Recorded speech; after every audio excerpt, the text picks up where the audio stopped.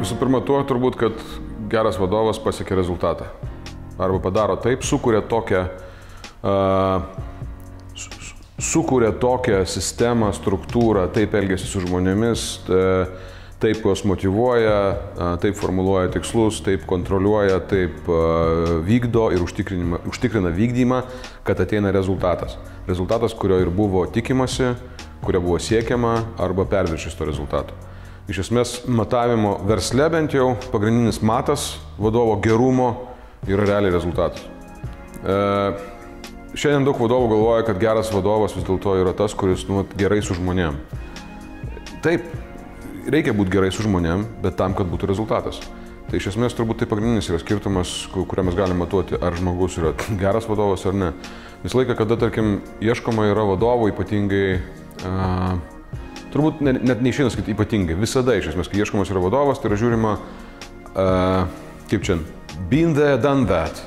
Sako, toks amerikoniškas terminas yra, tai yra, kad jisai tai darė, buvo tokioje situacijoje, tą darė, ir tą situaciją išsprendė, padarė iš jos tokio, kokios reikia.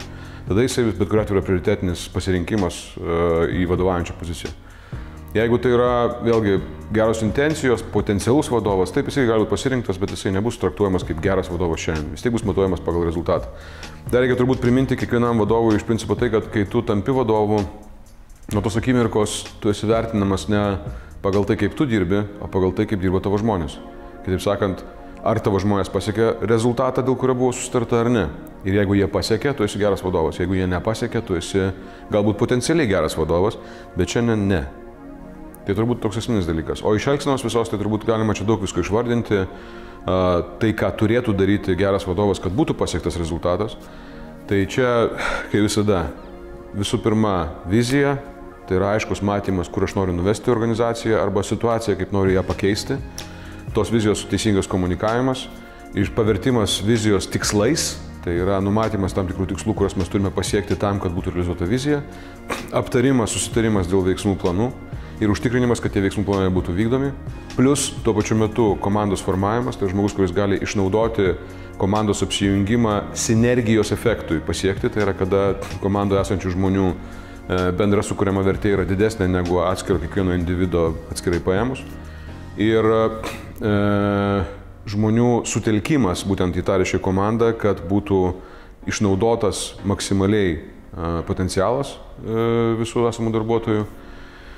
Kontrolė, motivacija, palaikymas, įtraukimas, ugdymas žmonių.